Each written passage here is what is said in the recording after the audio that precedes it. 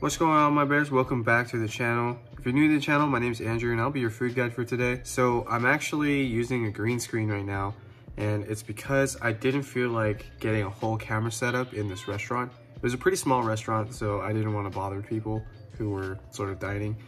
It wasn't really like super fine dining or really fancy, but it was just so enough that I didn't want to bother people. Today is going to be a voiceover. I hope you all like this style of video.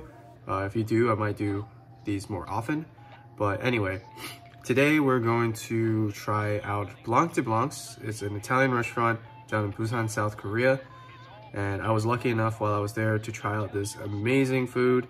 And they're really known for their risotto, which is a Italian rice dish, I think northern Italy.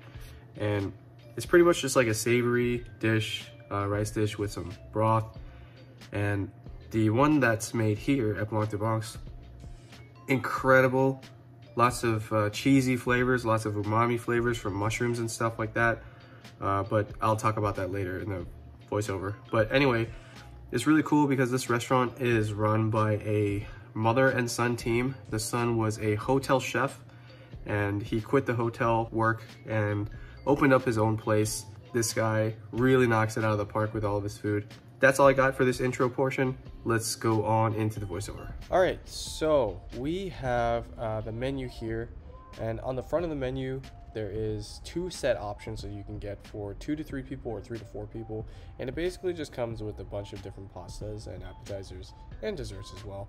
They got soup, salad, pasta, all the kind of typical Italian things that you can think of, and uh, they also have a pizza option, so thin pizzas. I really wanted to try the Gorgonzola pizza, uh, but we went ahead and got the margarita pizza instead. And uh, on the very back, they got the wine list here. Quite a few different wine options, actually, uh, which is quite surprising. Like most restaurants, they do serve some free bread uh, as a sort of appetizer, and it did come with uh, an oil and I think like a balsamic that was in there. I can't remember for sure. This video was actually filmed quite some time ago, but I believe it was like a balsamic and oil. And the bread itself was decent enough, uh, but nothing to really write home about. But here we have the more important item on the menu, which was the risotto. And this risotto is, like I mentioned, uh, what Blanc de Blancs is known for. And believe me when I say this was the best risotto I've ever eaten in my life. Uh, it comes with a lot of different seafoods and just just flat out delicious. Uh, this is the aglio olio, uh, so it's a garlic and oil pasta with some Roma tomatoes in there and a little bit of Parmesan cheese, kind of just grated on the top. And the presentation is phenomenal, and the taste also phenomenal. It really does taste as good as it looks. So I'm just uh, getting a little taste test here just to show you guys. It was extremely hot, but you can see so much seafood in there, and uh, I really like the amount of shrimp and lobster bits and clams and mussels that you got. Honestly, if I can go back uh, soon to Busan at any time in my life, definitely going to make another stop at Blanc de Blancs. It's really that good. So here, I'm just grabbing some of that pasta. And honestly, the pasta was, uh, it was really delicious, but it doesn't even hold a candle to how good the risotto is. But if you do like a nice garlic oil pasta, definitely have to give this a recommendation. So interestingly, um, Tina here, she ordered the pasta for her meal and I got the risotto for mine because it is really cheesy. But at the end of our meal, she did tell me that she actually liked the risotto a lot more than she liked the pasta. And that's saying something because Tina does not like cheese. She's not really a cheese fiend like I am. So that I really just want to exemplify for you all just how incredibly good this risotto is. Here's just like a close-up shot of it.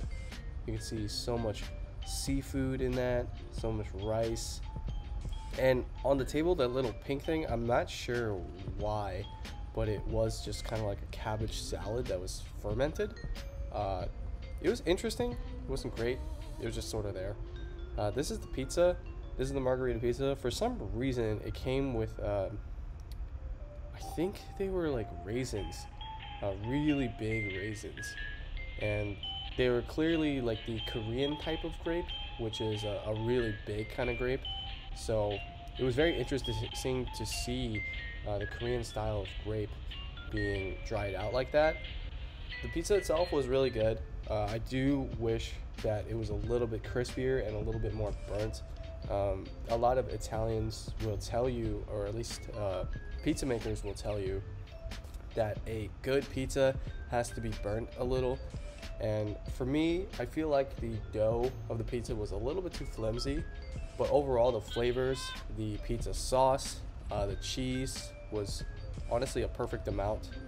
And uh, the Korean style uh, grapes that were on the pizza, the raisins, it actually was better than I expected. Uh, normally, it's like, uh, if anything, you'll get like sun dried tomatoes on that, but no, the pizza was actually pretty good. So at the end of our uh, dinner, we did get some dessert, and this is just a rice cake flavor at Baskin Robbins. Super delicious as well. I hope you all enjoyed the video. Sorry about my voice. I am a little under the weather with some hay fever. The allergies are really getting to me. Uh, but thank you all so much for watching. Comment, like, and subscribe. And as always, catch you guys in the next video. Stay hungry.